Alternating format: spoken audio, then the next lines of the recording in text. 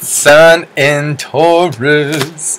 All right, so this is we actually have a lot of Taurus transits, either beginning or wrapping up during the lunar cycle. And either way, that's a really beautiful thing. I mean, I know it's not necessarily the most Taurian thing to appreciate change, but it is nice to have energies that are the next step.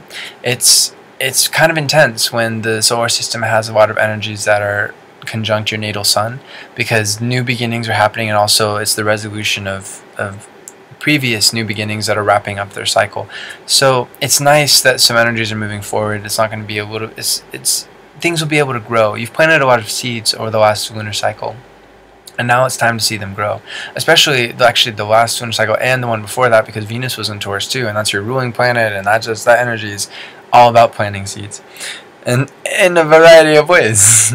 but it's going to be really nice to be able to to see things through to completion, at least for the beginning stages, and for them to start blossoming from there on out. So, one of the biggest things, we'll, we'll focus on the microcosmic view in a moment, but the macrocosmic view is Uranus and Taurus. This We've talked about this in previous uh, new moon news cycles. This is a really big deal.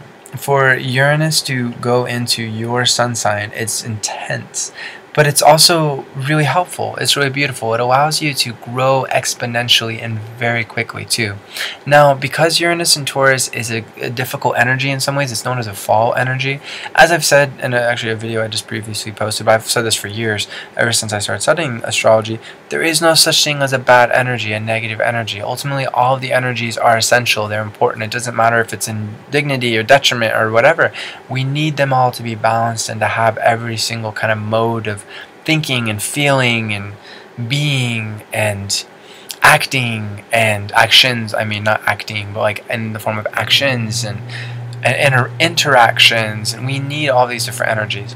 So bear that in mind when i do say that uranus and taurus is a little bit tough. And what this means is this energy resists change. So uranus is all about change growth. It, uh, it rules Aquarius, and so no doubt you've met a few Aquarians who are really nice and really helpful and really cool, but then other Aquarians that are really wild and unstable and erratic, and those people are like, get the fuck away from me, like you're gonna hurt me or hurt those I love or hurt what I love, like no, you're not good for my stability, and for a Taurus, that's essential. If you're not good for stability, time to shed. And I think that's really the key thing to keep in mind, the mantra here with Uranus and Taurus. And it can be tough because sometimes things that were stable before are going to become unstable. And this could be a relationship. No need to fear. No need to fear. Again, this is an eight year transit. And ultimately, it is all coming to a higher manifestation. It is all growing.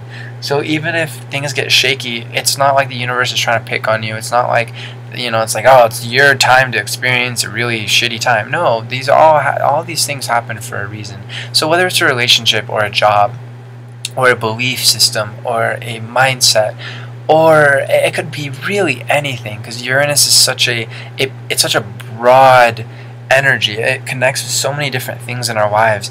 It really comes down to whatever it is, or who it is, or where it is.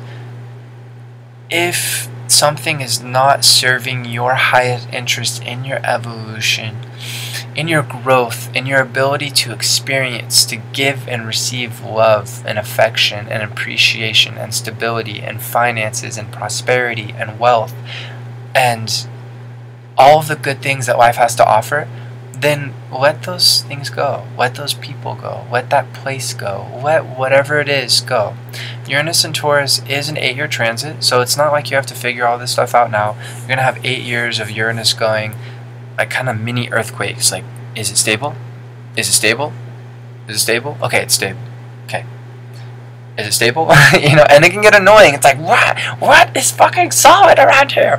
Well, we got to keep something in mind, and this is going to be something that's really helpful. It goes back to Buddhist thought, is ultimately everything is change, and getting attached to something that is not changing, which of course is impossible, but our attachments are based off of an illusion or a wish for lack of change.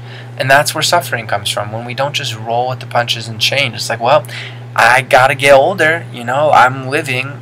I I have to. What does this mean? It means you know maybe I'm not quite as as sexually uh, you know attractive as I was when I was 20. But is that a bad thing?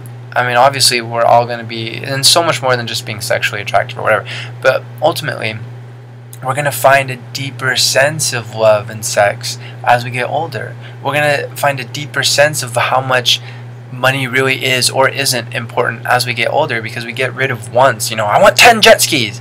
Hmm, you know, a couple years later, you start to go, uh, actually, I don't really need that. I really just need this. I need maybe one jet ski. That'd be cool. Awesome, you know, and a boat. That's cool. Or, hey, fuck all that altogether. I really want to have a stable savings so I can just enjoy time with those I love and not get so focused on possessions. Whatever it is, and for each Taurus, it's going to be different. Just like when Uranus was going into Aries, and as it goes into Gemini, my sign, later on, it's going to be different for every single individual. And that's true for any transit, actually, not just Uranus. So focus on what you need, let go of what you want, let go of what you don't need, change, allow the change to happen. And you're going to be set up beautifully, not just during this time, but for the time after that too. And mourn the loss. You know, there's no need to not grieve. No need to, I mean, if you need to cry, it's like, fuck, I, I really love this person and things have changed. It just doesn't seem to be working. Cry. That's part of the process, okay? But recognize that it's not working.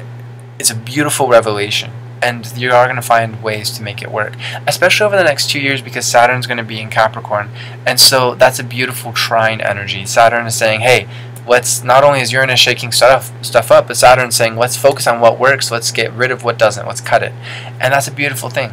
It's really essential, especially for Earth energy, especially for Earth energy, because Earth energy likes to amass and get more and get more and get more we don't need that much. We really don't need that much. When it comes to the, the body, we don't need that much. You know, I mean, obviously we need we need to take, very good care of those needs, but we need to not overeat. We need to not overindulge. We need to not, you know.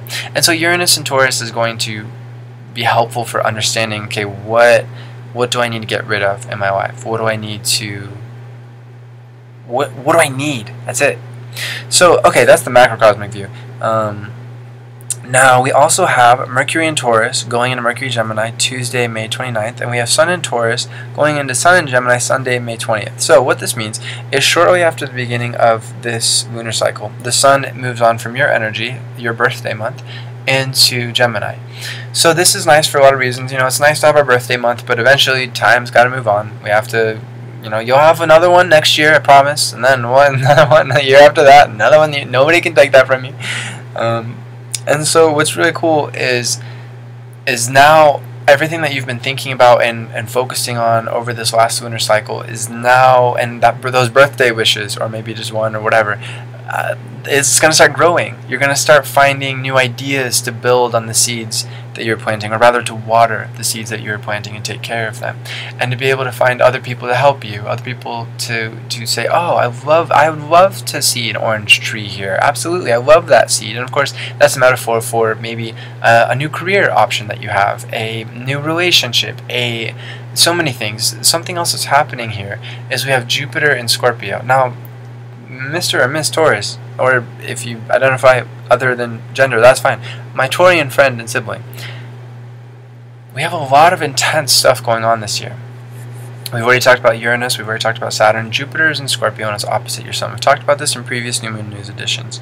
What this means, especially since Jupiter is retrograde, is this is a year of completely transforming yourself in a lot of ways. This could mean, again, letting go of a job that no longer serves you, uh, letting go of a person or a relationship that no longer serves you it means being able to grow past any barriers that you set for yourself before. Now, that's a scary process, but it's an important process and one that we all have to do.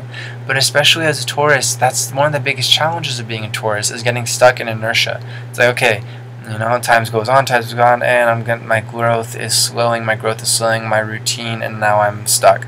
That's where Jupiter and Scorpio comes around and says, Alright, motherfucker, I'm gonna get you out of there. I'm gonna dig you out and it's tough. It's like, whoa, wait, no, but I'm comfortable. Yeah, but everything's dying around you. Not necessarily in every case. I don't want you to be freaked out, like, what the fuck, everything's dying. No, no, no. But it's good to keep in mind that there is a need to be able to grow eternally. We all have that need to grow.